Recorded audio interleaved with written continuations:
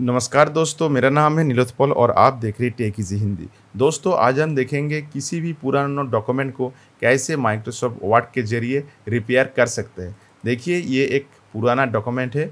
इस डॉक्यूमेंट को मैं आपके सामने रिपेयर करूँगा माइक्रोसॉफ्ट वर्ड के ज़रिए और इस डॉक्यूमेंट को मैं एकदम नया बनाऊँगा। तो चलिए वीडियो को शुरू करते हैं।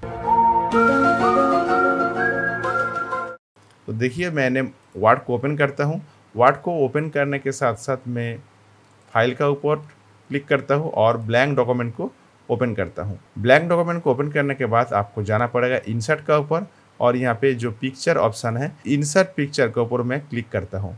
क्लिक करने के बाद यहाँ पे दो ऑप्शन दिखाई दे रहा है, दिस डिवाइस और ऑनलाइन पिक्चर्स।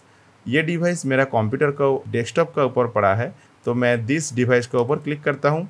क्विक एक्सेस के अंदर मैं डेस्कटॉप को सिलेक्ट करूँगा, क्योंकि मेरा जो डॉक्यूमेंट है वो डेस्कटॉप का ऊपर है।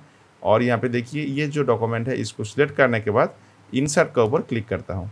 और देखिए, ये डॉक्यूमेंट यहाँ पे सक्सेसफुली इंसर्ट हो गया डॉक्यूमेंट इंसर्ट होने के बाद अगर आप चाहे तो इसको आप कुछ यहाँ पे चेंज भी कर सकते हैं। आपका डॉक्यूमेंट के हिसाब से देखिए, इस ऑप्शन को रखता हूँ, जहाँ पे इसका जो आउटलाइन है, वो एकदम वाइट हो जाए। और होने के बाद यहाँ पे देखिए, मैं इस डॉक्यूमेंट को मैं मूव करना चाहता हूँ, लेकिन इस जगह से मूव नहीं हो पा रहा है। तो इसलिए मैं जाऊँगा तो मैं जाऊँगा लेआउट का ऊपर। लेआउट का ऊपर जाने के बाद यहाँ पे इस इमेज को सिलेक्ट करने के साथ साथ यहाँ पे रैप टेक्स्ट का ऊपर क्लिक करता हूँ। क्लिक करने के बाद मैं यहाँ पे थ्रू ऑप्शन को सिलेक्ट करता हूँ और पोजीशन के ऊपर क्लिक करने के बाद मैं यहाँ पे left with square text wrapping जो पोजीशन है, उसको मैं सिलेक्ट करता हूँ। सिलेक्ट करने के बाद आप इस इमेज को आपका पेज का अंदर किसी भी जगह में मूव कर सकते हैं। देखिए, मैं इस इमेज को किसी भी जगह के ऊपर मूव कर रहा हूँ और ये सक्सेसफुली मूव हो रहा है।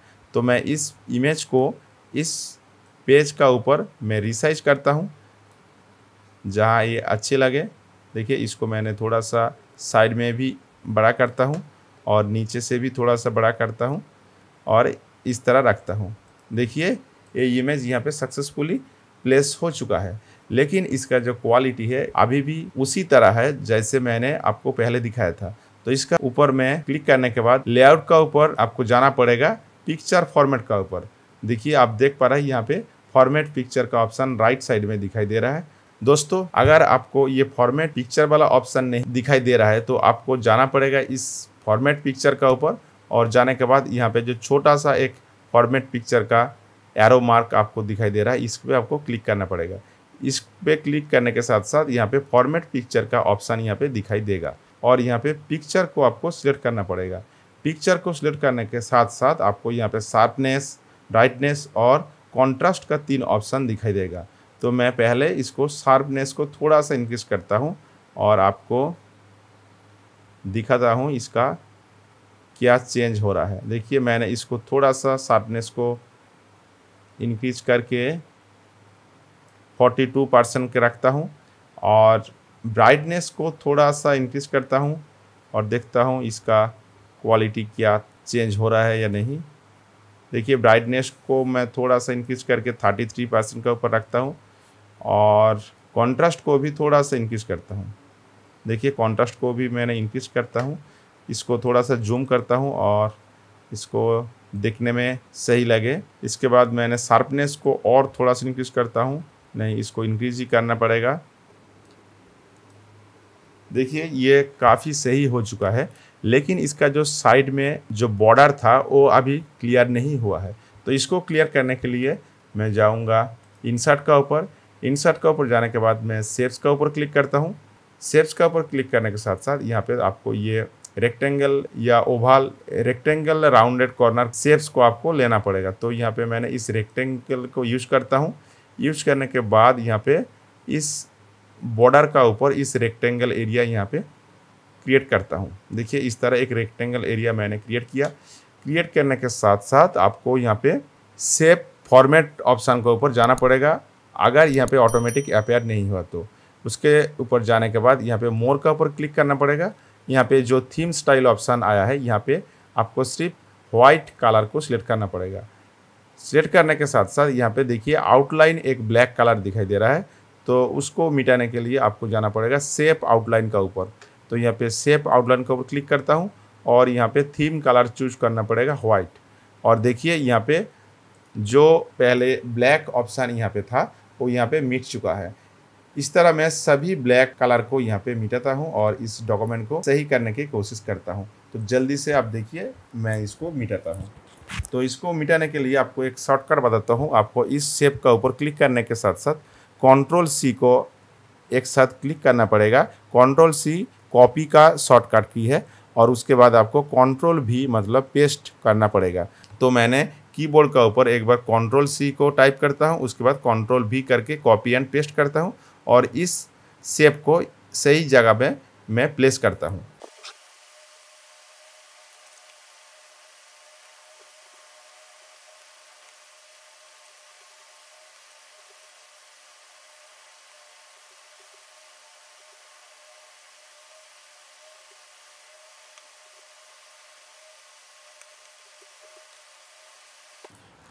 देखिए दोस्तों, इस डॉक्यूमेंट को मैं सही कर चुका हूँ और आप देख पा रहे हैं, ये पहले से कितना अच्छा हुआ है। तो इसको जो पहला डॉक्यूमेंट था, उसको मैंने एक बार आपको दिखाता हूँ।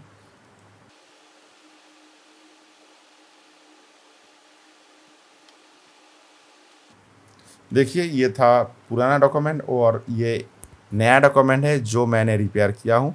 दोस्तों, आप चाहे तो इससे भी अच्छा रिपेयर कर सकते हैं। तो इसको सेव करने के लिए मैं इसको मैक्सिमाइज करता हूँ। इस डॉक्यूमेंट को सेव करने के लिए मुझे जाना पड़ेगा फ़ाइल का ऊपर।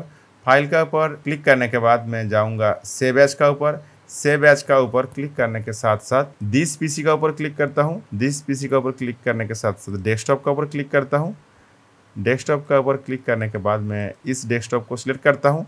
सिलेक्ट करने के बाद यहाँ पे मैंने टाइप करता हूँ, नाम टाइप करता हूँ डॉक्यूमेंट और इसका जो लोकेशन आप देख पा रहे हैं, ये डेस्कटॉप के ऊपर सेव हो जाएगा और यहाँ पे सेव एज टाइप जो फॉर्मेट मैं चूज़ करता हूँ, वो पीडीएफ पीडीएफ फॉर्मेट का ऊपर मैं इसको सेव करना चाहता हूँ, उसके बाद सेव का ऊपर क्लिक करता हूँ और यहाँ पे ये बोल रहा है, इस नेम का ऊपर ऑलरेडी एक डॉक्यूमेंट है तो इसको मैंने चेंज करके डॉक्यूमेंट वन रखता हूँ।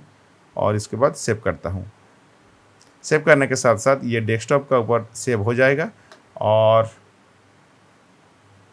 आप देख पा रहे हैं ये, यहाँ पे ये डॉक्यूमेंट ओपन हो चुका है ऑटोमेटिकली